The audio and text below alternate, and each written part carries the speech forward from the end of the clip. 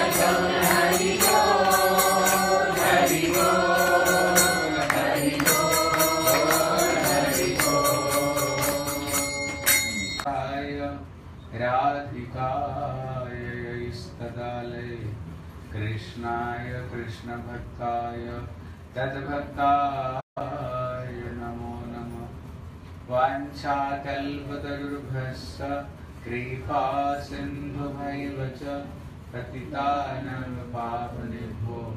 वैष्णवेभ्यो नमो नमः। नमो महावदन्नाय कृष्णप्रेमप्रदायते कृष्णाय कृष्णचैतन्य। नाम्ने गौरतुषे नमः। हे कृष्णकरुणा सिन्धो, दीनबन्धु जगत्पते। गोपी सर्वविगत श्रीराधकान्त नमस्तुते तप्त काञ्चन गौरांगी राधे वृंदावनेश्वरी वृषभायन सुतदेवी प्रणमामि हरिप्रिये। वृन्दाय तुलसीदेव्यै प्रियाय केशवस्य च। कृष्ण भक्ति प्रदेवी सत्यवत नमो नम। श्री कृष्ण चैतन्य प्रभु नित्यानंद गदाधर गौर भक्त वृंद हरे कृष्ण हरे कृष्ण। कृष्ण कृष्ण, हरे हरे। हरे राम हरे राम। राम राम, हरे हरे। हरे Krishna Hare Krishna Krishna Krishna Hare Hare Hare Rama Hare Rama Rama Rama Hare Hare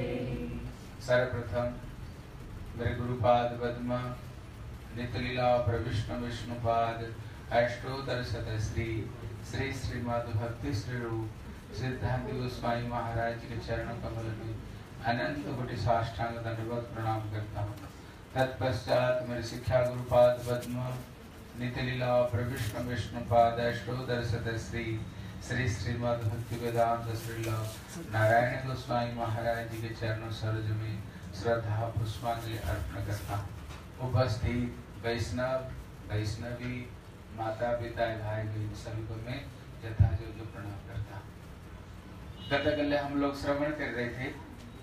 Shri Sanatan Goswami ये बृहत भागवतामृत ग्रंथ प्रारंभ से पहले सबको प्रणाम कर रहे प्रणाम करके सबसे आशीर्वाद लेकर के और ये भागवत को प्रारंभ किया है। कल हम लोग ने श्रवण किया था कैसे श्री मथुरा देवी को प्रणाम किया, श्री वृंदावन धाम को प्रणाम किया, और उसको बाद में उन्होंने श्री हरिनाम संकीर्तन को प्रणाम किया फिर कल उन्होंने किसको प्रणाम कर रहे थे? वृंदावन धाम को उन्होंने प्रणाम किया है। कल वृंदावन धाम की महिमा को श्रवण कर रहे थे।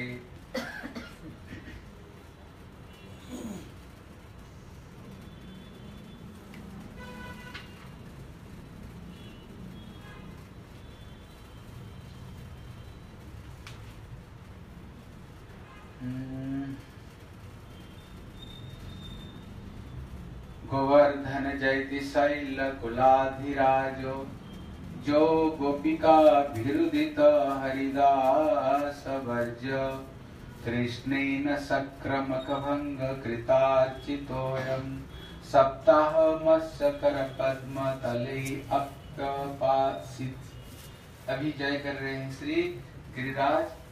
गोवर्धन को जयकार करते बोले गिरिराज महाराज की जय? कहती ये गिरिराज कौन है बोले इस गिरिराज गोवर्धन श्री हरिदास जय कहते तीन हरिदास है। सर्वप्रथम हरिदास श्री युधिष्ठिर महाराज ये हरिदास है। और हरिदास भरत कौन है कहते श्री उद्धव जी। कहते हरिदास में जो सर्वश्रेष्ठ हरिदास कौन है? गिरिराज। गोवर्धन। बोल क्यों? कहते इन्होंने भगवान की जितने सेवा की है और इतना सेवा किसने की है? इसलिए इनको हरिदासों में सर्वश्रेष्ठ बताया गया।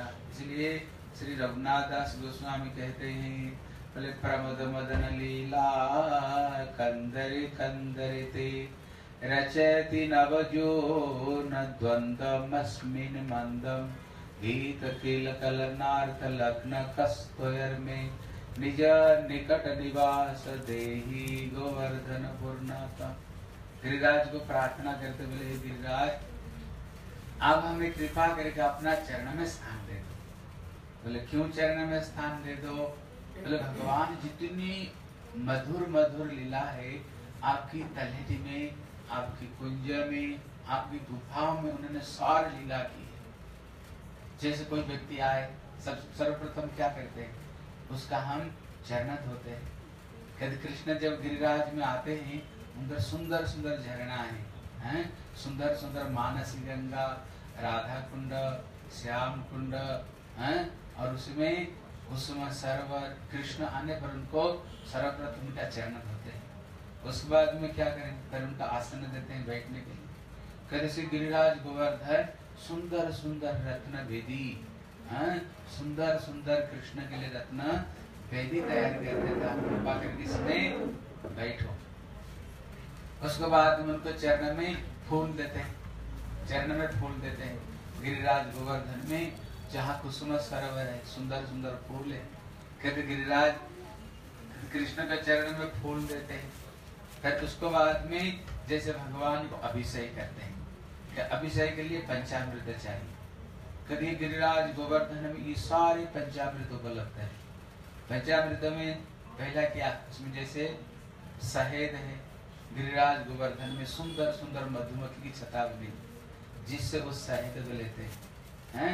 उसके बाद में जैसे दूध, दही, चीनी चीनी के लिए वहाँ पर सुंदर सुंदर गन्ने हैं। चीनी का रस से अपने आप चीनी मिल जाता है, गन्ने का रस मिल जाती है। और वहाँ पर गैया घास खा करके बड़े सुंदर दूध देते हैं। और दूध से दूध मिलता, फिर उससे दही हो जाती, उसमें फिर घी हो जाती जैसे पंचामृतों के द्वारा हम भगवान को अभिषेक करते हैं कभी गिरिराज गोवर्धन भी पंचामृतों के द्वारा कृष्ण की सुंदर सुंदर सेवा करते हैं, श्री गिरिराज गोवर्धन। इसलिए और कृष्ण गिरिराज गोवर्धन में फल खाना सुंदर सुंदर फल है। इसलिए हमारे कवि कर्णपुर वर्णना करते हैं गिरिराज को कहते गिरिराज का जो हम पत्थर देखते हैं ना पत्थर नहीं। जैसे हीरा मुक्ता हाँ जैसे जवाहरात ये गिरिराज गोवर्धन भी पत्थर नहीं। कहते हैं भक्तिमन ठाकुर कहते हैं राधा कुंड क्या कीर्तन है?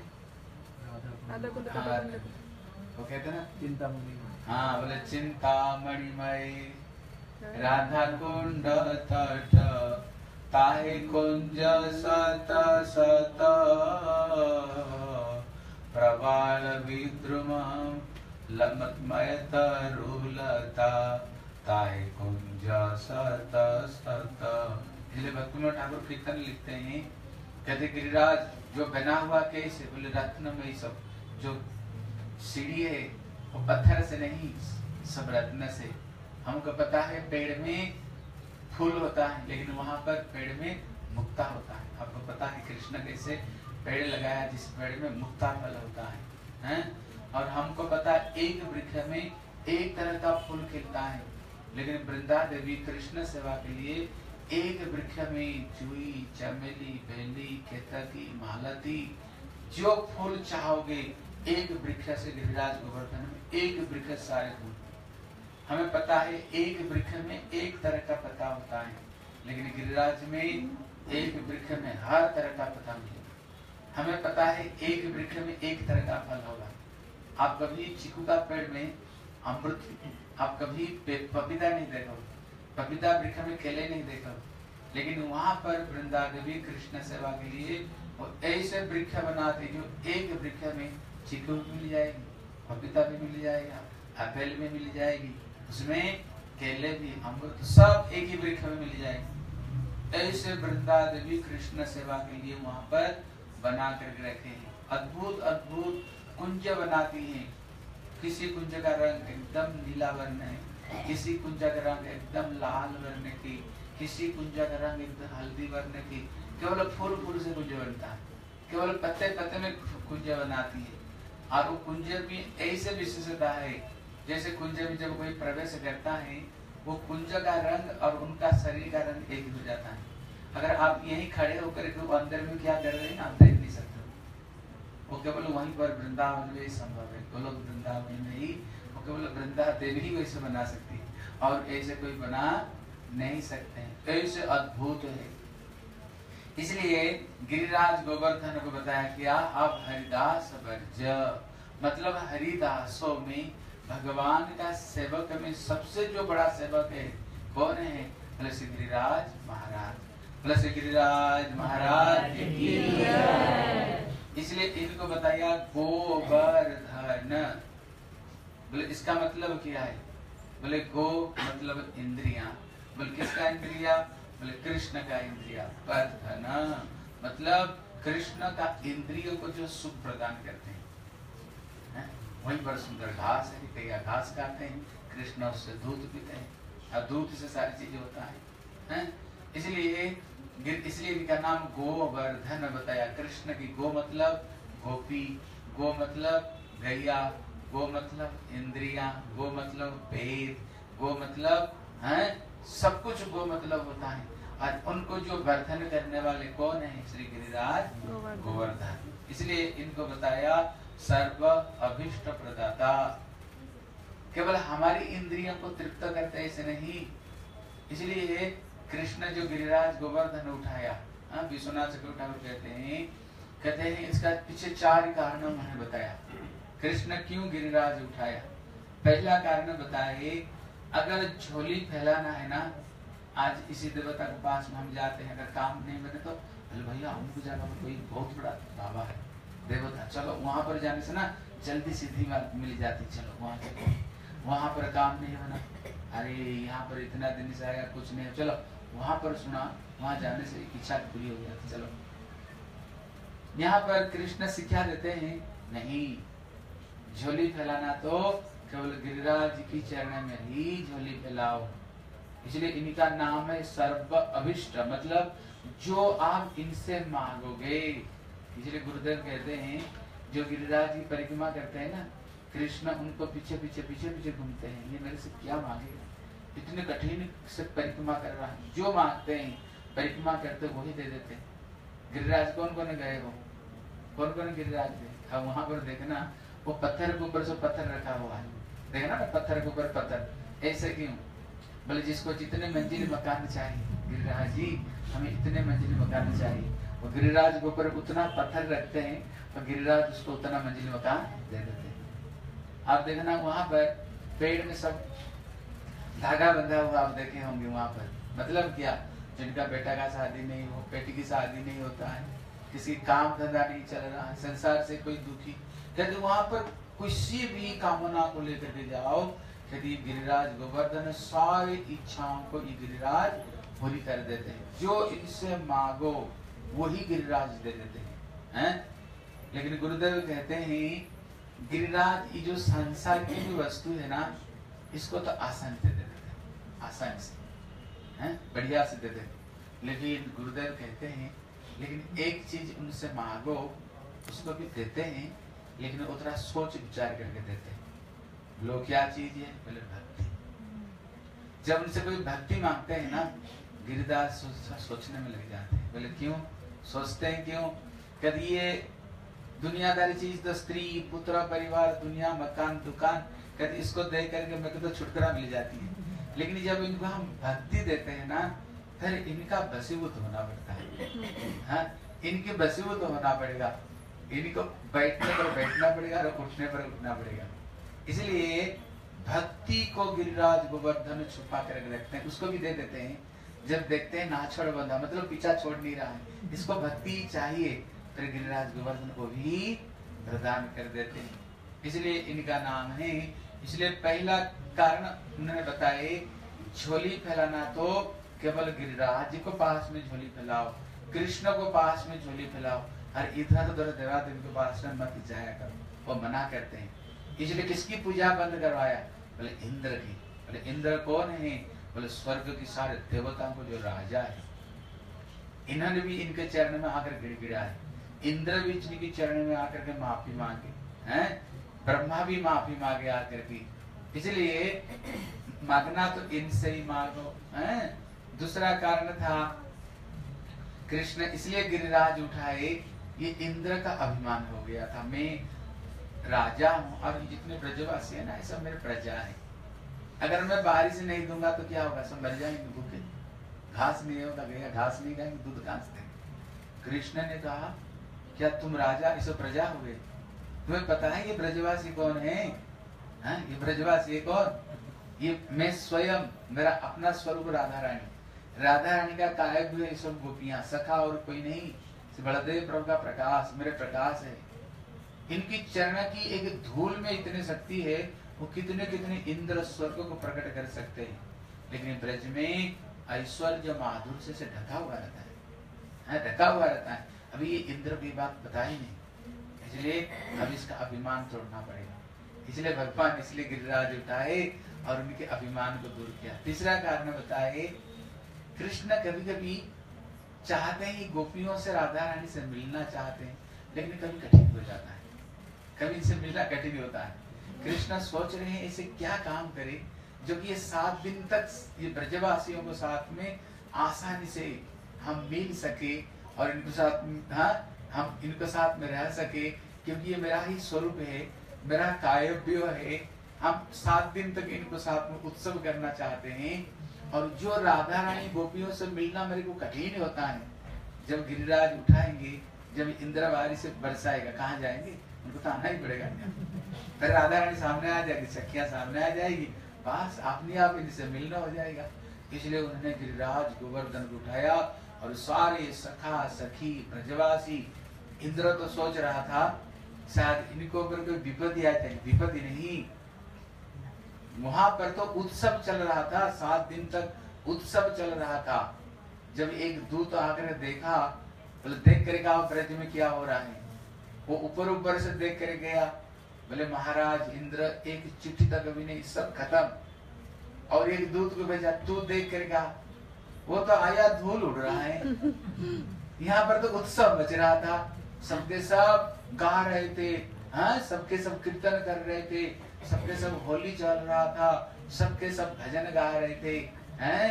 बोले आज बीरज में होली रे रसिया आज बीरज में होली रे रसिया होली रे रसिया बर चोरी रे रसिया आज बीरज में होली रे देखा वहाँ पर जो आनंद में गा रहे हैं, नाच रहे उत्सव चल रहा है वहाँ पर।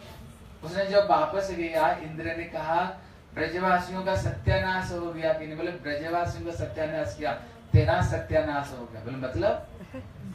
जिसको तो बालक समझ रहा था ना, वो बालक नहीं। वो तो बाम हाथ में, बोले, बाम हाथ नहीं। सबसे कनिष्ठ अंगुल कनिष्ठ अंगुल नहीं। बोले, ये नख ऊपर में गिरिराज को उठा करके रखा सारे ब्रजवास गा रहे हैं, खा रहे हैं, आनंद में नाच रहे घर भरत इंद्र घबराया। अरे ये कौन है? फिर माफ़ी मांगने के लिए आया। और गोवर्धन। इसलिए उन्होंने क्या किया? कृष्ण इंद्रियों को ब्रजवासियों को साथ में मिला करके इसलिए उन्होंने बड़े उनको उनको ऊपर में कृष्ण की बड़ी सेवा की। यद्यपि ऊपर से दिखाई पड़ता है, इन्होंने कुछ सताया, लेकिन नहीं, इन्होंने बहुत बड़ी सेवा की। सारे ब्रजवासियों को साथ में कृष्ण को मिलने कराया, है। इसलिए जो सबसे जो श्रेष्ठ कारण है, कृष्ण चाहते हैं रास करेंगे। अभी रास करेंगे कैसे अकेले तो कर ही नहीं सकते। बगैर ब्रज गोष्ठियों को साथ में। इसलिए कृष्ण दो बहादुर दिखाए। उदाहरण देता है जैसे कि हीरो, किसी हीरोइनी को आकर्षण करने के लिए उसको सामने कुछ बहादुरी दिखाता है, जिससे वो हीरोइनी अपने आप उसको प्रति आकृष्ट हो जाता है। कहते बावारी, इतना बहादुरी? है? इतना बहादुरी, इसलिए कृष्ण दो कृष्ण हीरो है। और गोपियाँ हीरोइन है। अभी वो हीरोइन का मन को आकर्षण कैसे करे? इसलिए बहादुरी दिखाना पड़ेगा। इसलिए एक में तो कालियों को सर पर नृत्य किए और दूसरे में गिरिराज उठाया। वाह वाह कितना साल के थे? सात साल के पर्वत कितना बड़ा बोले सात क्रोश। और कितना दिन तक धारण किया? सात दिन। तक धारण किया। इतने बड़े विशाल गिरिराज गोवर्धन को। गोपियाँ तो देख देख करके हैरान हो रहे थे बोले बाबा रे हमने बड़े बड़े पराक्रमियों को देखा हैं? ये बड़ा बड़ा पराक्रम को देखा। इतने पराक्रम। हाँ? नख को ऊपर में सात दिन तक आप पाँच मिनट ही हाथ रखो, रह नहीं सकते। हैं? एक क्विंटल दस किलो का कोई कोई दस किलो का कोई चीज़ दे तो एक मिनट भी ऊपर उठा नहीं सकते हो। और इतने बड़े गिरिराज गोवर्धन को उन्होंने सात दिन तक गोपियाँ तो देख देख कर हैरान हो रही थी। और अपना मन, तन, सब कुछ कृष्ण के चरण में नौचा भर बस, कृष्ण का रासलीला हो गया। कृष्ण उनको आकर्षण करना चाहते ना। इसलिए इनका नाम है, कौन है? हरिदास वर्ज्य इसलिए इनको बताया, हरिदासों में सबसे जो बड़े हैं मतलब भगवान की सेवकाई भगवान की सेवा करने में अगर सबसे कोई बड़े है ना कहते श्री गिरिराज गोवर्धन जैसे उन्होंने सेवा की। हर तरह से सेवा की गिरिराज गोवर्धन है। इसलिए इनका नाम है गोवर्धन और दूसरा नाम है गिरिराज। बोले, गिरियों में ये सर्वश्रेष्ठ गिरिराज गोवर्धन। बोले, गिरियों में, बोले, दो तरह से ये सर्वश्रेष्ठ है। मतलब हर पर्वत का एक एक रूप है। जैसे ब्रज में एक शंकर जी का रूप है। कल सुन रहे थे ना, शंकर जी का क्या है कहते श्री नंदगाम बरसाना स्वयं ब्रह्मा है सखी गिरी पर्वत सब सखियाँ एक एक पर्वत रूप धारण किया हिमाचल हिमाचल हिमाचल अलग अलग सब पर्वत है लेकिन ये गिरिराज गोवर्धन का इष्ट कौन है बोले स्वयं विष्णु है और स्वयं भगवान कृष्ण है कृष्ण ही ये गिरिराज हुए इसलिए इनको बताया गिरिराज और सबसे जो ऊंचाई में थे अभी तो हम कहते एवरेस्ट हिमालय बड़ा। लेकिन उसी समय में कि गिरिराज गोवर्धन कहते चौसठी माइल ऊंचाई थी। चौसठी माइल इतने बड़ी ये गिरिराज गोवर्धन थी। लेकिन पुलस्त ऋषि के अभिशाप से ये धीरे धीरे धीरे धीरे ये क्या हो रहा है? नीचे जा रहे लेकिन गिरिराज पहले विशाल स्वरूप था, गिरिराज गोवर्धन है? इसलिए इसलिए उन्होंने श्री गिरिराज गोवर्धन को प्रणाम करते हैं, गिरिराज गोवर्धन, आप तो हरिदास वैद्य हो, आप कृष्ण जिनको सात दिन तक न को भगवान का स्पर्श किसको हो, है? भगवान का शरीर, कहते ना, निताय पद कामल कोटि चंद्र सुशीता कहते भगवान कितने कोमल है, और इनका हाथ अगर किसको स्पर्श हो, है? तो कितने खुश नहीं होगी गिरिराज गोवर्धन। कृष्ण मेरे को उठा करके रखे उनका स्पर्श हो रहा है, सारे ब्रजवास नीचे आनंद में गा रहे हैं, नाच रहे हैं, उत्सव चल रहा है गिरिराज गोवर्धन इसलिए वो कितने खुश से गिरिराज गोवर्धन हुए। इसलिए श्री गिरिराज गोवर्धन के चरण में प्रार्थना करते हैं, गिरिराज गोवर्धन, आप सब हम लोग पर में कृपा करो, क्योंकि इनकी कृपा के बगैर ना कोई कृष्ण सेवा को प्राप्त नहीं कर सकते। इसलिए हमारे संप्रदाय में जितने गोस्वामी हुए हैं सनातन गोस्वामी तो रोज वृंदावन से जाते थे, परिक्रमा लगाने। वृंदावन में रहते थे। गिरिराज तक चलते चलते आना, पूरा परिक्रमा लगाना, मथुरा में वापस आना, माधुपुरी लेना और आकर के वृंदावन में प्रसाद रोज। और श्री रघुनाथ दास गोस्वामी, है, वो गिरिराज को प्रार्थना करते निज निकट निवास देवी, गोवर्धन तो हमसे गिरिराज जी, आप कृपा करके आपका चरण के तलटे हमें आश्रय दो। और हमारे श्री विश्वनाथ चक्रवर्ती ठाकुर, रूप गोस्वामी, जीव गोस्वामी, ये सब के सब गोस्वामी परिक्रमा लगाए। और श्री विश्वनाथ चक्रवर्ती ठाकुर पूरा उन्होंने सुंदर अष्टगी लिखे हैं। गिरिराज के में उन्होंने सुंदर अष्टगी लिखे। कहते नारद जी, कहते नारद कुंड में वहाँ पर नारद गोपी बन करके तपस्या कर रहे हैं। उद्धव जी जब ब्रज में आए और गोपियों की महिमा को दर्शन किया, उन्होंने देखा जब तक श्री गिरिराज गोवर्धन की कृपा नहीं होगा तब तक ये ब्रज प्रेम प्राप्त असंभव है। इसलिए उद्धव जी गिरिराज के तलट में घास बन करके वहाँ पर तपस्या कर रहे घास बन करके तपस्या कर रहे हैं। हाँ, इसलिए हमारे जो बड़े गुरुदेव भक्ति वेदांत नारायण गोस्वामी महाराज जहाँ पर हमारे गिरधारी गौड़ी मठ उन्होंने वहीं पर रहे वहीं पर भजन किए।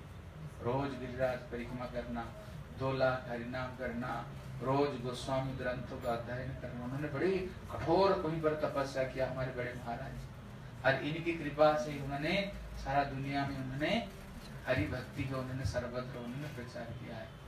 बोले श्री गिरिराज महाराज की गौर प्रेमानंदे हरि हरि बोल। उसके बाद में प्रणाम करते हैं भक्ति देवी को। बोले जयति जयति कृष्ण प्रेम भक्ति जदंग्री निखिल निगम तत्व गुढ़ मुक्ति। भजती शरण कामा वैष्णव माना जप यजन तपस्या। न्यास निश, निष्ठाम विहाय। इसको बाद में किसको प्रणाम करते बोले जयति जयति कृष्ण प्रेम भक्ति। अंग्रे निखिल निगम तत्व गुण माज्ञा मुक्ति। उसके बाद में उन्होंने भक्ति देवी को प्रणाम कर हैं? क्योंकि बगैर भगवान की भक्ति से हम भगवान को प्राप्त नहीं कर सकते। कहते मुक्ति भी जिनकी चरण की दासी है। हैं? मुक्ति भी जिनकी चरण की दासी। इसलिए कहते भक्ति स्थिरतरा भगवान यदि बोले दैवन दिव्य किशोर मूर्ति मुक्ति स्वयं मुकुंदा जली तस्मान धर्म, अर्थ, काम, समय प्रतीक्षा इसका मतलब है, अगर भगवान की भक्ति आपके हृदय में आ गई, भक्ति आ गई इसलिए रूप गोस्वामी उदाहरण देते हैं, जब कोई रानी चलती है, उनके जितने चली चपाटी ना, सब पीछे पीछे पीछे पीछे चलते हैं। जब कोई राजा चलते हैं, देखना उनका सारे नौकर चाकर सारे मंत्री सब पीछे पीछे चलती है। इसलिए कहते जो भक्ति ये एक रानी है। ये जब चलती हैं, जितने रिद्धि, सिद्धि, वैभव, सबके सब इनकी पीछे पीछे पीछे पीछे चलती है। इसलिए बोले, भक्ति स्थिरता भगवान यदि अगर भगवान के चरण में तुम्हारी भक्ति बन गई, उनके चरण में तुम्हारी भक्ति हो गई, बोले, मुक्ति, जिस मुक्ति के लिए ज्ञानी इतने कठोर तपस्या करते हैं, वो मुक्ति क्या करते बोले, दरवाजे को बाहर खड़ी रहती है। हाथ जोड़ कर मुक्ति खड़ी रहती है, प्रार्थना करती है, थोड़ी सी हमें ठाकुर का सलाम लगा और जो धर्म, अर्थ और जो काम है, हैं, ये जो तीन वर्ग सारा दुनिया जिसको पीछे लगे हुए है, धर्म, अर्थ और काम, पैसा के पीछे, कामना, इच्छा पूरी हो जाए। लेकिन ये क्या बोले, ये ये समय प्रतीक्षा मतलब ये देखते रहते हैं, ये भक्त हमें कृपा करके कब मेरे को थोड़ी सी प्रभु की सेवा में लगा दे हमारा जीवन सार्थकता हो जाएगी इसलिए भक्ति की इतने महिमा, इसलिए शास्त्र ने बताया, भक्ति रही वही बने भगवान के पास में कौन हम ले जाएगा? भक्ति ले जाएगा। बोले, भक्ति रही वही वह दर्शन बोले, भगवान का दर्शन कौन कराएगा? बोले, भक्ति को द्वारा भक्ति हो है? इसलिए भक्ति भूयसी। इसलिए भक्ति की ही जय जयकार है। इसलिए कृष्ण कहते हैं, न साधन तमाम सांख्यम बोले हे उद्धव, मेरे को जोग, सांख्य, तपस्या, कोई मेरे को भसीभूत नहीं कर सकते जता भक्ति ममर्जिता केवल भक्ति ही मेरे को भसीभूत कर सकता दुनिया में हमें कोई भी ज्ञान, कर्म, जोग, भोग हमें कोई भसीभूत नहीं कर सकते हैं। इसलिए हमारे सूरदास इसलिए कहते हैं सबसे ऊँची प्रेम सगाई, सबसे ऊँची प्रेम सगाई। इसलिए सबसे ऊँची क्या प्रेम है? इसलिए भगवान प्रेम में वसीभूत होकर के भगवान ने क्या किया? बोले, अर्जुन के रथ हाथ को भूल गए ठाकुर आई कहा, भगवान दुनिया का माली और कर रहे क्या अर्जुन का हाँ? रथ कहा करे अगर कभी सारथी बन रहे थे कभी अगर घोड़ा थक जाए ना, बोले, कृष्ण, थोड़ी को घास खिला दो, थोड़ा मालिश कर भगवान वगैरह घास खिला रहे हैं और मालिश ही कर रहे हैं। इसलिए, बोले, प्रेम की वसीभूत होकर, बोले, सबरी के झूठे पैर खाए, बहुविध स्वाद बताए। बोले, सबरी, आज तुम्हारे पैर में जो स्वाद आया ना, मेरे को बैकुंठ में लक्ष्मी, आप कितने कितने भोजन कराती हैं। छापान भोग छत्तीस व्यंजन लगाते लेकिन आज तुम्हारी पैर में जो स्वाद आया ना, वो स्वाद हमें वैकुंठ में छापान भोग में भी वो स्वाद हमें नहीं आता है।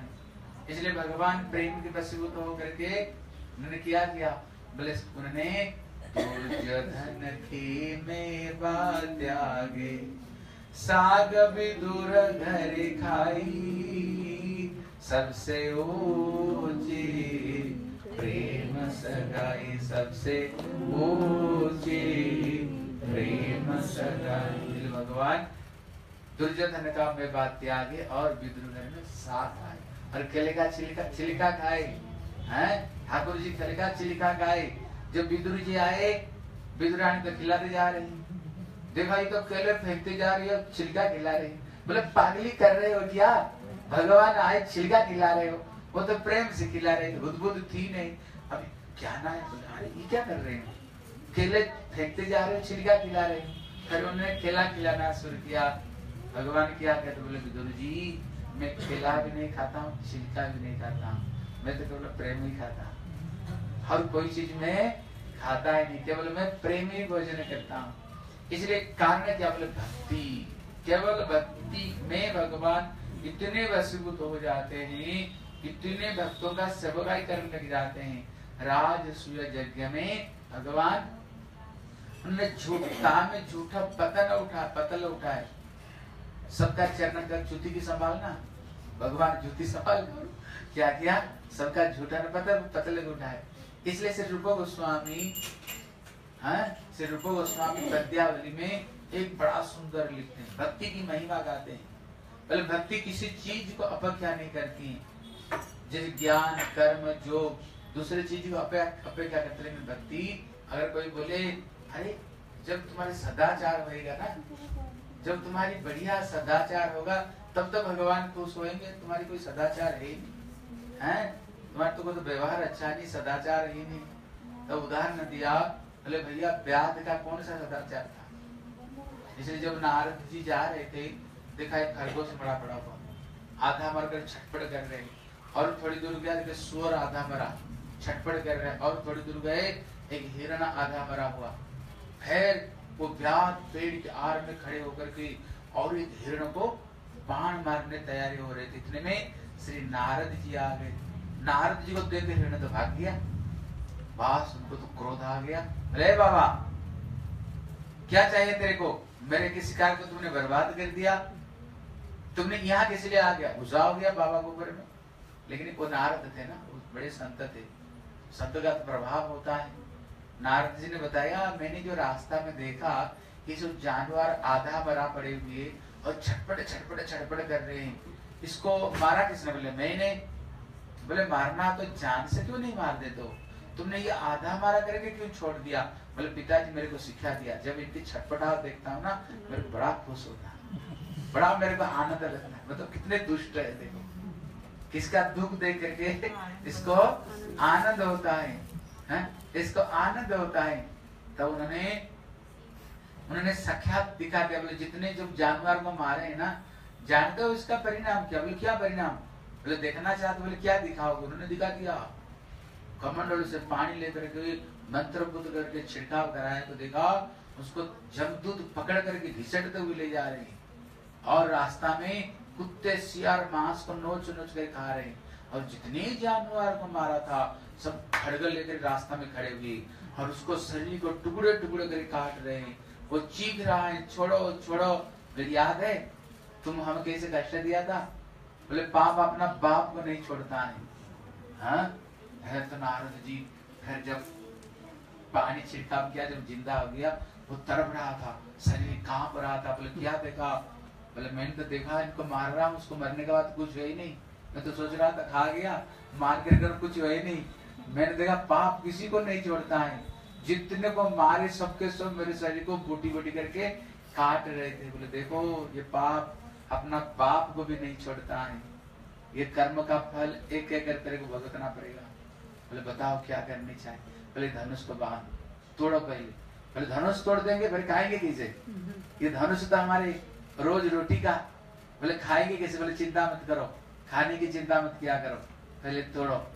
तोड़ करके फिर उन्होंने भगवान का नाम दिया। बोले, यहीं पर बैठो और भगवान का भजन करो। बस।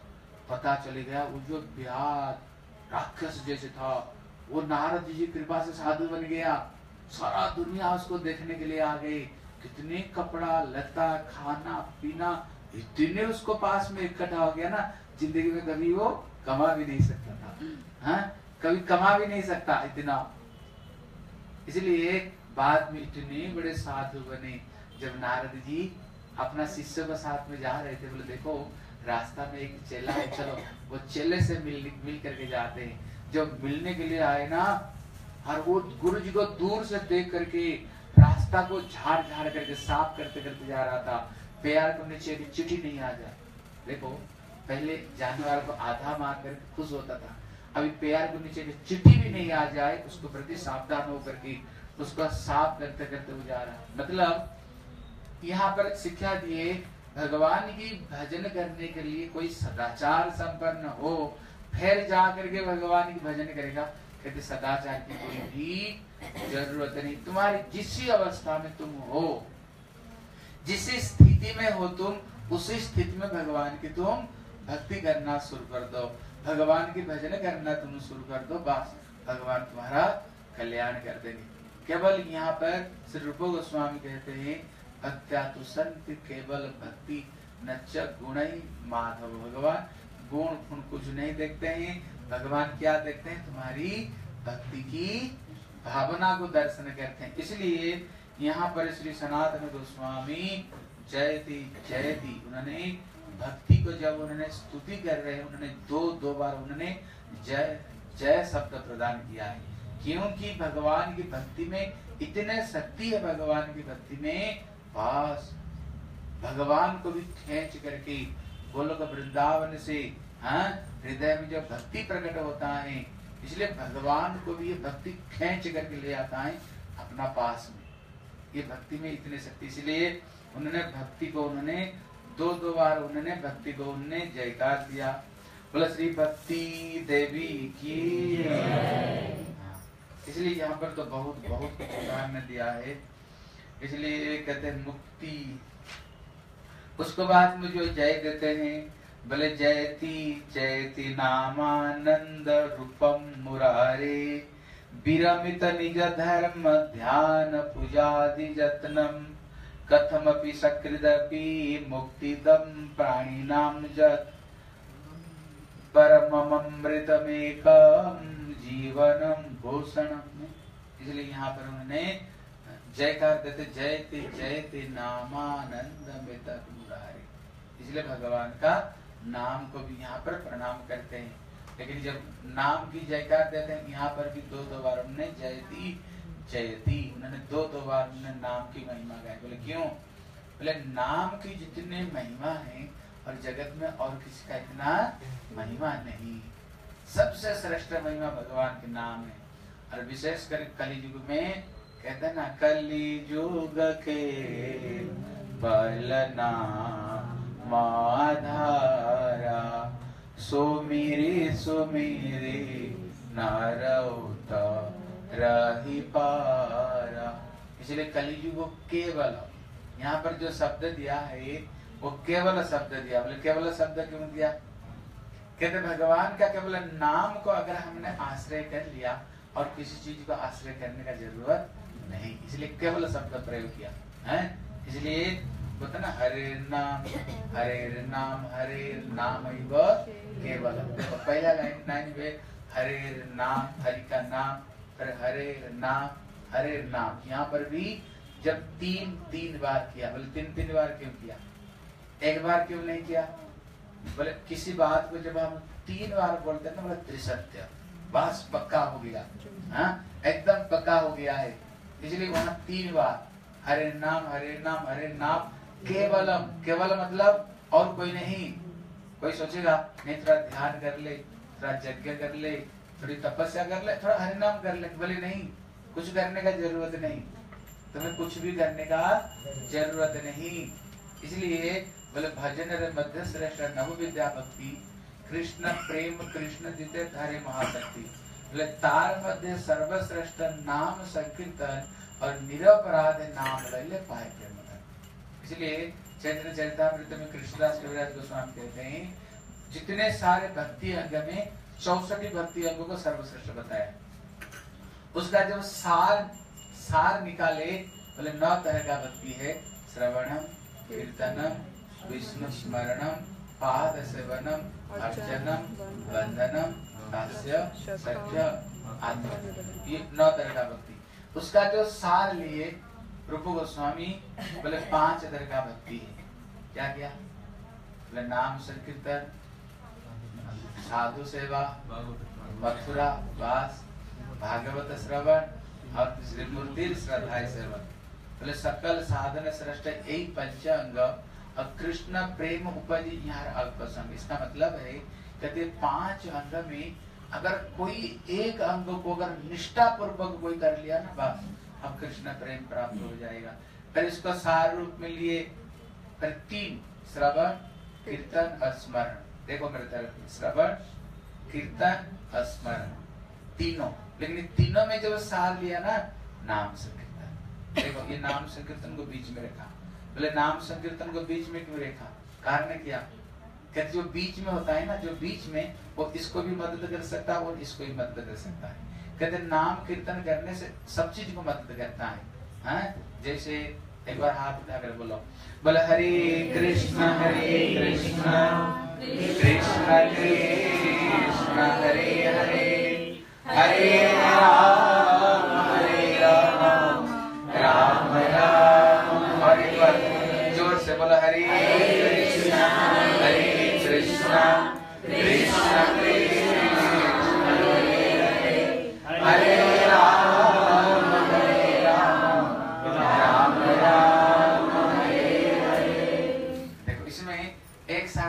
काम हो गया। पहला तो हो गया कीर्तन। जब जी को हमने कीर्तन की, वही क्या हो गया? कान में वही गया। फिर क्या हो गया? श्रवण हो गया। जो कीर्तन किया और जो श्रवण किया, फिर हृदय में स्मरण किया होगा। वही तो स्मरण करोगे, जिसको बोलोगे, जो सुनोगे, वही तो स्मरण होता है। इसलिए एक साथ में आपका ये तीन काम एक साथ में हो गया। है हाँ? एक साथ में ये तीनों काम हो गया। इसलिए ये नाम संकीर्तन को सर्वश्रेष्ठ साधन बताया। ये हरिनाम संकीर्तन। जैसे आप कथा सुन रहे हो। यहाँ देखने के लिए तो बैठे हैं, लेकिन कभी कभी ऐसा होता है, बैठे तो यहाँ पर, घर का चिंता हो रही शायद बेटा हो गया होगा नहीं तो पति आ गया तो खाना कौन खिलाए जब भी देखने के लिए यहाँ बैठे हो, लेकिन सोच रहे हो घर की याद कर बेटा। अगर मैं पूछू, क्या सुना? बोला, अरे, मैं तो मैं तो घर का याद कर रहा जब भी आप बैठे हो, ये यहाँ पर हो हाँ देखने के लिए तो बैठे हो, लेकिन जब पूछे, मन अगर कहीं हो ना, पूछे, बोले, हम तो मैं तो घर का याद कर रहा अब कुछ भी नहीं बोल सकता। इसलिए लेकिन ये कीर्तन ऐसे के है हाँ और विशेष करके आप जब स्मरण करने जाओगे, जब स्मरण करने जाओगे, ये सबसे बड़ा कठिन साधन बताया स्मरण को। इसलिए कोई भी बोला, आप कीर्तनों कैसे श्रेष्ठ बता दिया? कीर्तन से तो जो जो भी कर सकता है। लेकिन जब आप ध्यान करने के लिए जाओ, स्मरण करने के लिए जाओ ना देखना उसमें सबसे ज़्यादा कठिन स्मरण करना। बैठ कर किसी चीज़ को, मन को लगा करके, सारे मन को इधर उधर हटा करके, मन को एकाग्र करके जब लगाना होता है ना, वो सबसे बड़ा कठिन होता है।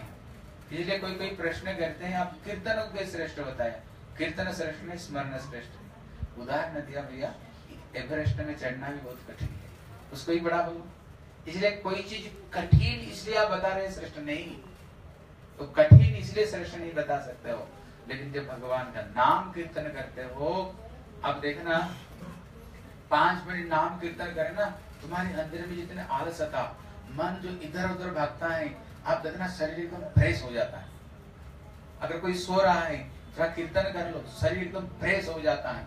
इसलिए महाप्रभु ने बताया परम विजय श्री कृष्ण संकीर्तनम। इसलिए संकीर्तन की जो विशेष जो महत्व है, परम विजय। थे महाप्रभु कहते हैं, अगर सर्वोपरि किसी का अगर जय जयकार हो, बोले किसी चीज़ की, बोले नाम संकीर्तन की।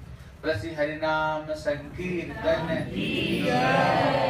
हाँ? इसलिए यहाँ पर उन्होंने भगवान का जो नाम कीर्तन को, जयति जयति नाम आनंद में मुरारे।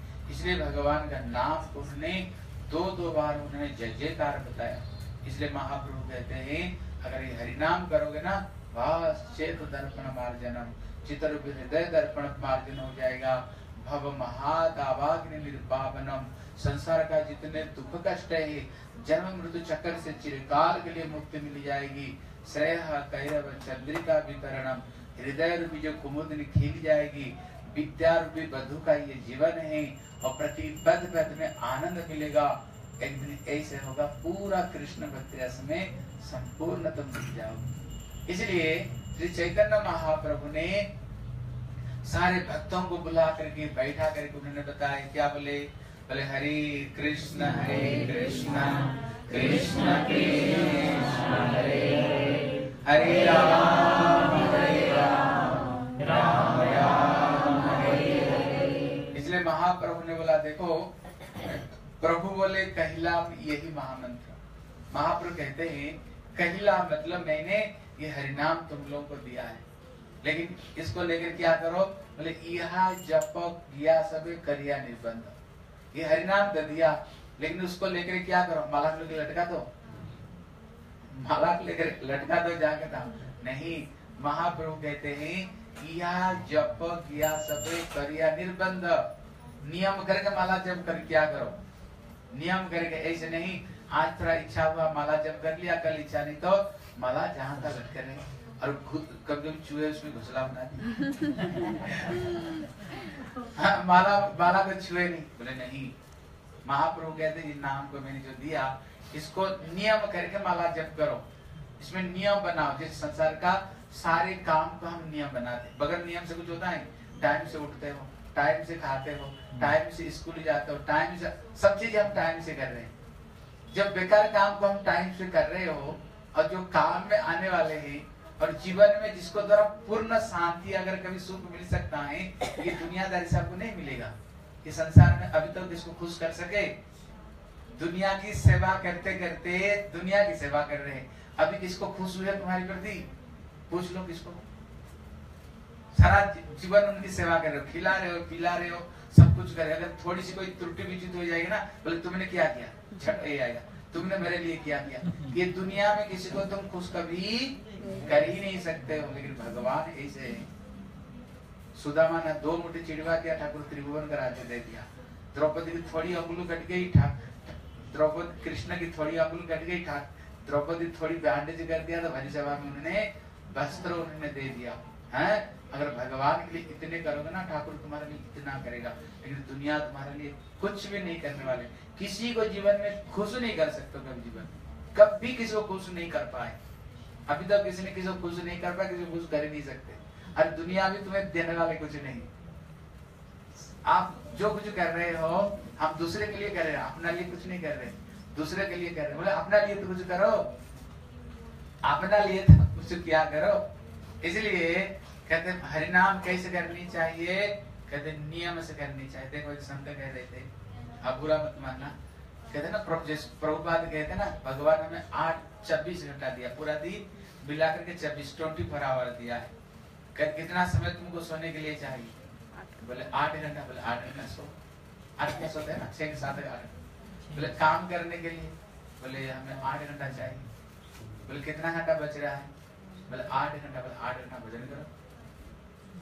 अगर तुम बोलोगे, नहीं, हम काम करने के लिए दस घंटा चाहिए। नहीं तो काम करने के लिए बारह घंटा भी ले लो। बारह घंटा से ज़्यादा कोई काम नहीं करते। बारह घंटा से कोई ज़्यादा काम करते नहीं। तो कितना घंटा फिर बच रहा है? चार घंटा। देखो संत कह रहे थे सवेरे दो घंटा और शाम दो घंटा प्रभु के लिए दो। तो संत कहते थे सवेरे दो घंटा उठ कर ना अपना परिवार को समझो, ये मेरे शत्रु सब। ये परिवार हमारे शत्रु शत्रु है। भागवत में भागवत में कहते हैं, स्वजनाख दस्यु, द्वितीय स्कंद में कहते हैं।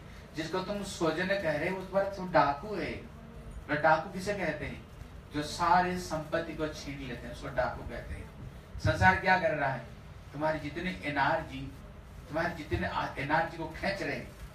दुनिया क्या कर रहे देना चाहिए भगवान को। जीवन किस लिए ठाकुर दिया था?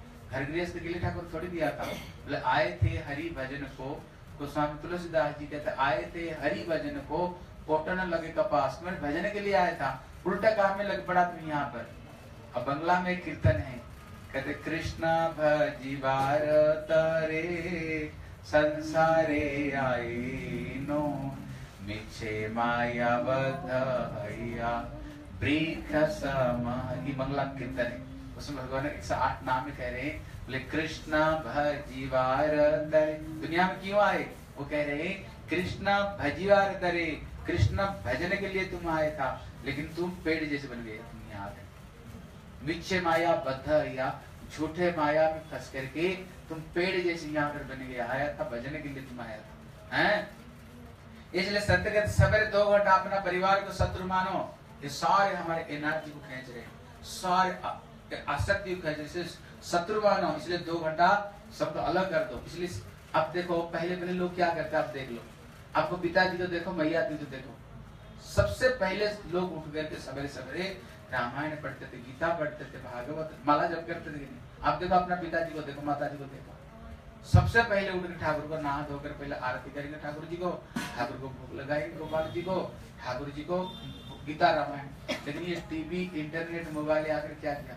इतने बर्बाद कर दिया इतने बर्बाद दुनिया कर दिया। इससे तो बर्बाद दुनिया सब इसने किया ही कोई कहते नहीं साइंस तो बड़ा एडवांस किया है। इसलिए स्वामी महाराज कहते हैं हाँ साइंस ये एडवांस किया। पहले तो डंडे डंडे में युद्ध करते थे गोली। अभी गोली नहीं अभी तो इसे आटम बम ऐसे निकला, एक फेंको तो बस दुनिया खत्म हो जाएगी। ऐसे ऐसे, दूसरे दूसरे को धमकी दे रहा है। कुछ करोगे तो ये आटम बम फेंक दूँगा। देखा ना, सब दूसरे दूसरे को धमकी दे रही सब ये सब। अब कोई भी सोचता नहीं, ये कुछ नहीं होगा। एक दिन होगा होगा नहीं, क्यों? इस वैसे थोड़ी बना कर रखी। अभी शायद विश्व युद्ध हो जाता। ये मोदी ने किसी तरह से रुकवा दिया, किसी तरह से कर तो अभी विश्व युद्ध छिड़ जाता है हैं? इसलिए वैसे बना करके नहीं रखे। देखो हमारे हमारे गुरु जी कहते थे, जब तक आप भजन करोगे ना, तब तक ये सब चीज़ नहीं होगा। क्योंकि कृष्ण गीता में एक श्लोक प्रतिज्ञा किया है। अर्जुन को द्वारा बोला, अर्जुन, तुम प्रतिज्ञा करो, न मैं भक्ता परिणति मेरा भक्त का विनाश नहीं। तो अर्जुन कहता है, प्रभु, तेरा भक्त का विनाश नहीं तो प्रतिज्ञा करना। तो मेरे से क्यों प्रतिज्ञा करवाते बोले, अर्जुन, मैंने बहुत बार प्रतिज्ञा किया है। लेकिन जब मेरा भक्त कोई प्रतिज्ञा करता है ना, मैं अपना प्रतिज्ञा को मेरे को छोड़ना पड़ता है। लेकिन अगर मेरा भक्त कोई अगर प्रतिज्ञा कर देता है, फिर उसको कभी मैं नहीं तोड़ता। पूरा जी जान लगा करके प्रतिज्ञा को मैं रक्षा करता हूँ। इसलिए भगवान इसलिए ये विश्व युद्ध नहीं लगा रहे हैं, जानते हैं, अभी मेरा कुछ भक्ति करने वाले है। कुछ भक्ति करते हैं, मेरे भजन करते हैं, नाम कीर्तन कर रहे हाँ इसलिए भगवान देखते हैं, अगर ये विश्व तुझे चढ़ेगा मेरे भक्त भी विनाश हो जाएँगे। लेकिन मैं गीता में स्वयं प्रतिज्ञा करवाया, अर्जुन से, मेरा भक्त का विनाश नहीं। है? देखो, एक संत कथा सुना देते एक जगह पर ना इतना आंधी तूफ़ान आया इतना आंधी तूफ़ान, सारे पेड़, घर, मकान, कहते दो दो हाथ का नीचे मिट्टी तक भी उड़कर चला गया। लेकिन देखा है कि छोटा सा भूस का कुटिया कुछ नहीं हुआ। लोग बड़े आश्चर्य हुई कि कुटिया क्यों कुछ नहीं हुआ। जाकर देखा कुटिया में संत बैठ करके माला जप कर रहे वो संत बैठ कर माला जप कर रहे थे। क्योंकि भाई कौन है? भगवान की नौकर है। भाई, भगवान की नौकर है। इसलिए भक्तों कुछ नहीं करता है। वो सब कर क्या करता है। प्रहलाद को आग में फेंक दिया। क्या हुआ? जला उसने। वो लग रहा था जैसे एयर कंडीशन रूम में बैठा हुआ। वहाँ का तो होलिका जलकर खत्म हो गई जिसको ब्रह्मा जी का वरदान था वो अग्नि कुछ नहीं कर सकते तो जलकर खत्म हो गई। लेकिन प्रहलाद बैठ कर हरिनाम कर रहा है। हरे कृष्णा हरे कृष्णा कृष्ण कृष्ण हरे हरे राम हरे राम राम राम इसलिए कहते सवेरे समय को पूरा दो घंटा जम करके ठाकुर को गीता पढ़ो रामायण पढ़ो भागवत पढ़ो और हरिनाम कर ठाकुर जी आरती उतार फिर परिवार को अपना समझो। फिर परिवार को अपना समझो।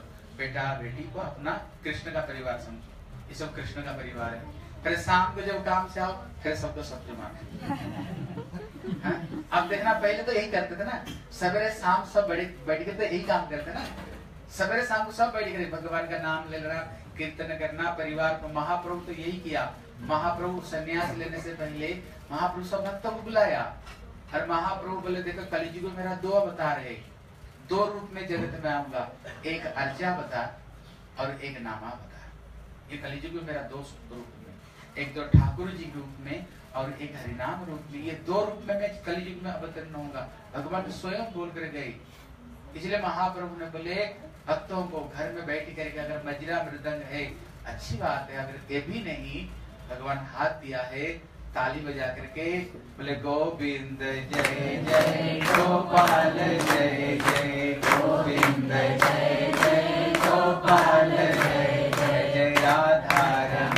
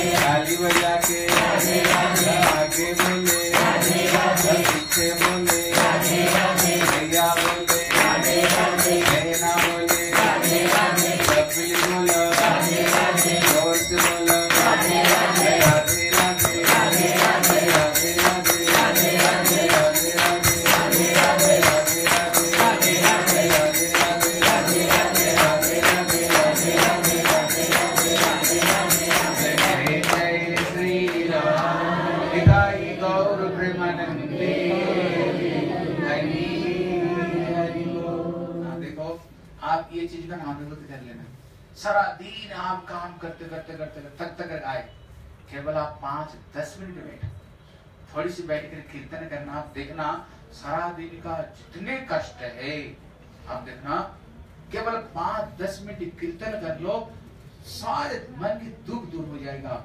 शरीर में जैसे ना दूसरा बार पूरा शरीर में एनर्जी आ जाएगी। सारा दिन के जितने क्लेश, जितने टेंशन ऑफ़िस का कष्ट, काम में कष्ट, सब जगह में आप देखो लड़ाई झगड़ा, सब जगह कष्ट। देखना, केवल थोड़ी कीर्तन कर लो, देखना लगेगा जैसे घर भगवान का धाम बन गया। घर का जितने मन का टेंशन देखना, सारे खत्म हो जाएगी। आप करके ही काम देखना। सारे टेंशन खत्म हो जाएगी दिमाग से। लगे जैसे नया ऊर्जा आ गई कहीं से। है? भगवान की भक्ति में, भगवान का कीर्तन में इतने शक्ति भगवान का। इसलिए महाप्रभु कहते हैं, ताली बजाते हो, ये कुछ भी नहीं, ताली बजाते हो, घर में थोड़ा हरि कीर्तन कर लो। भगवान की कीर्तन अगर घर में गुंजेगा, घर का सारे पाप चले जाएगा, मन का क्लेश चली जाएगी, मन का कष्ट चले जाएगा, मन का सारे दूर हो जाएगी।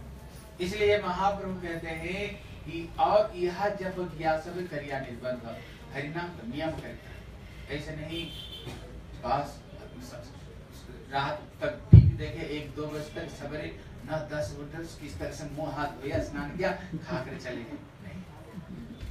तो जल्दी सो जाओ टाइम से उठो और दो घंटा पूरा भगवान के भजन में हम पूरा दो घंटा अच्छे तरह से देंगे। जितने गुरु परंपरा की जय ध्वनि तो कीर्तन करो, माला थोड़ा जब करो, गीता थोड़ा पढ़ो, नहीं तो भागवत थोड़ा पढ़ो। पूरा दो घंटा सवेरे दो। देखो, प्रहलाद महाराज क्या कहते हैं बच्चियों को? हम जो कुछ करते हैं, क्यों कर रहे हैं बताओ? शांति के लिए। सुख के लिए ना? पढ़ाई क्यों कर रहे हैं? सुख के लिए। शादी क्यों करते हैं? सुख के लिए। बच्चे क्यों देते हो? सुख के लिए। नौकरी क्यों करते हो? सुख के लिए। जो कुछ कर रहे हैं, सुख के लिए कर रहे हैं। और कोई नहीं, केवल सुख के लिए कर रहे हैं। प्रहलाद महाराज इतने बढ़िया बात बताए बच्चों को। बोले, जो कुछ करते हैं, हम सुख के लिए करते हैं। एक ही काम है, दुख हटाओ और सुख को लाओ। लेकिन प्रहलाद कहते हैं, वो सुख आएगा कहाँ से? ये पैसा कमा कर जाएगा? रावण जैसे तुम्हारा धन हो सकता है। शिशुपाल धंधे पर इतना पैसा, उसके पास मंदोदरी जैसे पत्नी थी, इतनी सुंदरी पत्नी। बेटा, मेघनाथ जैसे तब उसको शांति सुख नहीं मिली। इसलिए गोस्वामी तुलसीदास जी कहते हैं हरि विमुख कभी सुख नहीं बाबा। उनने सात उदाहरण दिया। कहते, कोई बोले, आकाश में फूल खिल गया, असंभव है, उसको मैं मान सकता हूँ। कोई बोले, कछुआ की पीठ के ऊपर पाल आ गया, असंभव, इसको मैं मान सकता हूँ। कोई बोले, खरगोश का सींग उग गया, असंभव, मैं भी मान सकता हूँ। कोई बोले, बांझ का बेटा हो गया, इसलिए तो बांझ है, बेटा कहाँ से आएगा? अगर कोई बोले, हैं, बर्फ़ के ऊपर में आग जल रहा है कोई बोले, पानी को मंथन करते करते घी निकाल दिया, कोई बोले, रेती को पीस पीस करके हमने तेल निकाल दिया। वो आठ न नौ उदाहरण दिया, जो असंभव में सभी संभव मान सकता हूँ। अगर कोई बोलता है भजन भजन कुछ नहीं करता, हम सुखी में। कहते, कभी ऐसे हो ही नहीं सकता। असंभव है। स्वयं जिसने दुनिया को बनाया खुद कहता है, ये दुख का घर है। यहाँ जेल संसार है। अपना मन मर्ज़ी कुछ नहीं कर सकते तुम यहाँ पर। ये जेल खाना में तुम आए कर्म का फल भोगने के लिए सुख कहाँ से आएगी तुमको? असंभव है। हाँ वो कहते हैं, जितने परिमाण तुम भगवान की भजन में मन लगाओगे, उतना केवल तुम्हारे दिमाग सही रहेगा। जितने ये दुनिया में लगाओ, उतना टेंशन तुम देख लो, यहाँ से कितना समय से बैठो एक घंटा से बैठो जब भी हम सब दुखी, कोई तन से दुखी, कोई मन से दुखी, कोई धन से कोई परिवार से, कोई बेटा से, कोई बेटी से, कोई पैसा से, पड़ोस से सब दुखी दुखी लेकिन यहाँ पर एक घंटा तक बैठे, कोई दुख तुम्हें याद है अभी तक? कोई तुम्हारी दुखी याद नहीं, क्यों? भगवान की, भगवान और भगवान की कथा कोई फ़र्क नहीं है। केवल गेट से बाहर निकलो, निकलते ही घर में जाने पर ये होगा, घर में ये है, घर में वो है, घर में ये। केवल गेट से निकलते ही ना, सारे दिमाग में सारे टेंशन अपने आप आने लग जाए इसलिए भगवान महाप्रभु कहते हैं, भैया, अगर घर में कीर्तन भजन करोगे ना, बस उसमें तुम्हें शांति सुख उसमें मिलेगा। इसलिए जो कुछ करते हैं, सुख के लिए करते दुख के लिए कोई नहीं करते लेकिन बिना बुलाए घर में निमंत्रण में प्रहलाद कह रहे हैं, दुख को घर में कोई बुलाते हो? निमंत्रण दे तो दुख आए। बिना बुलाए दुख आता कि नहीं? आता है। बिना बुलाए दुख आता है। कहते बिना बुलाए सुख भी तुम्हारे घर में आएगा। चिंता मत करो। इसलिए प्रहलाद कहते हैं, देखो बच्चों, जितने प्रभु की भक्ति में तुम्हें शांति सुख मिलेगा ना, कहते बच्चों, और दुनिया में किसी चीज़ से तुम्हें इतने शांति से मिल नहीं सकता। इसलिए बच्चों, भगवान के भजन में मन लगाओ, इसी में ही तुम्हें आने का शांति से मिलेगा। और कलयुग में सबसे बड़ा जो भजन है, भगवान का नाम है। भगवान कलिजुग में नाम रूपे कलयुग कृष्ण अवतार। भगवान कलिजुग में अपना नाम रूप में आए। इसलिए भागवत में बताया? नाम चिंतामणि कृष्ण चैतन्य रस विग्रह पूर्ण शुद्ध नित्य मुक्त अविर्ण नाम नाम भगवान और भगवान के नाम में कोई फ़र्क नहीं। नाम चिंतामणि जो मांगोगे उसको देगा। है? कि रस स्वरूप, आनंद स्वरूप, प्रेम स्वरूप और हरि से बड़ा हरि का नाम है। इसलिए यहाँ पर श्री सनातन गोस्वामी उन्होंने हरि नाम की, जय दी जय दी नाम, नंद बेदत मुरारे। इसलिए उन्होंने हरि नाम की दो दो बार उन्होंने जय जयकार बताया। हाँ बस हरि नाम की जय जयकार हो। मतलब और कुछ करने का, धर्म करने का ज़रूरत नहीं।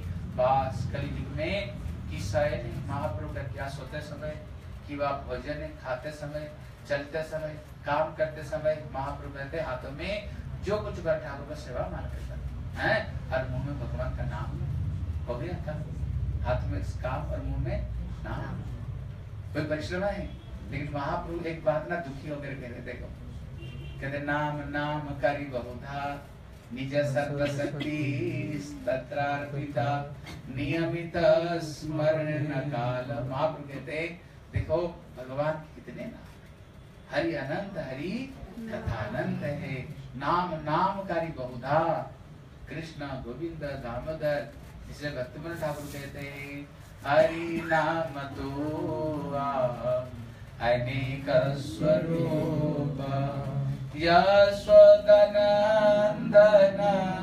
आनंद वर्धन नंद तनय रस कोप, हरि नाम तो अनेक स्वरूप, भगवान, कितने नाम है?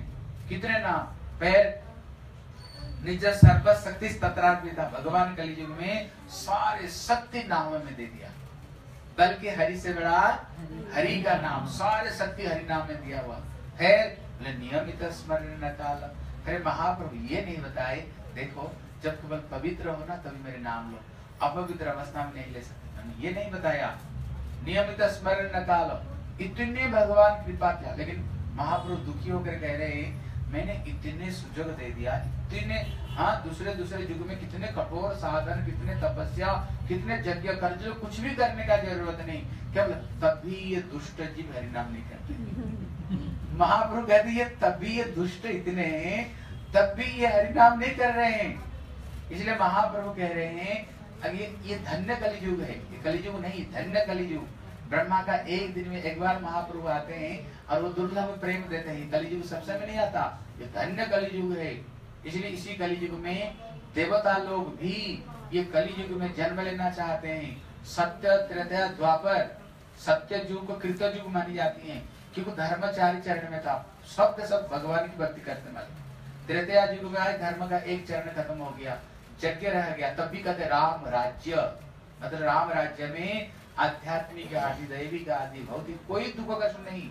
एक कुत्ता भी अगर उसका कोई प्रॉब्लम हो तो राम के पास में दरबार में कहते हैं, कोई चिड़िया की कोई प्रॉब्लम है तो प्रभु सबकी भाषा समझते थे इसलिए राम राज्य कहते हैं ना मतलब सब सुखी।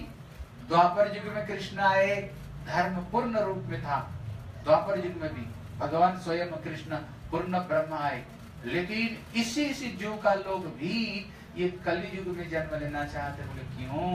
बोले, ये कलि युग में श्री चैतन्य महाप्रभु आएँगे और कलयुग में कठोर साधन नहीं, साधन एकदम सरल है, केवल हरिनाम करना। और देंगे क्या?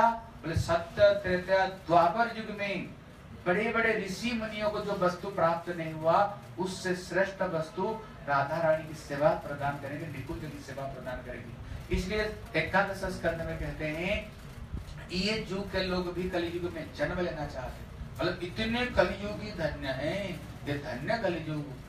हर समय ये कलिजुग एक हज़ार कलिजुग के बाद में ये एक बार ये कलिजुग आता है, है? इसलिए एक महाप्रभु कह दुखी होकर कहते जिहा तुम्हारी अधीन में। कहते जिहा तुम्हारी अधीन में। मतलब जीवात को जो बोलोगे वही बोलेगा ना? अगर बोलो कृष्ण कृष्ण बोलो कृष्ण कृष्ण बोलेगा। लेकिन तब भी ये दुष्ट मन इतने बदमाश इसलिए प्रभुपाद कहते थे सवेरे उठो अपना जूते लो। अपना जूती से ये मन को सवार पीटो। कहती है मन को सवार पीटो। मन को समझाओ, आज मन। हरिनाम करना, गीता रामायण पढ़ना, भागवत पढ़ना, है? इसलिए उसको मन को समझा करके, पीटो इसको मन को मतलब समझाओ। मन आज दिन भर भगवान की याद करना, गंदी चीज़ में नहीं जाना, उल्टे पुलटे काम नहीं करना, है? इसलिए महाप्रभु कहता अगर इसी युग में अवतार उधार नहीं हुआ, महाप्रभु कहते करोड़ युग में तेरे उधार होने वाले नहीं। ये चैतन्य भागवत में महाप्रभु कहते हैं, तेरा करोड़ों में और तेरा उधार हो, नहीं होगा। वही कीड़े मकड़े बनकर पड़ जाएँगे। अगर देखो, अभी कलयुग कितना ज़ोर से बढ़ रहा है। अगर अगली बार अगर जन्म लेकर का होगा ना वे माँ अपना बच्चों को काट कर खाएगी। शास्त्र में आती है? इसलिए अपना बच्चों को बेचते हैं। विदेश में अपना बच्चे को माताएँ बेच देती हैं।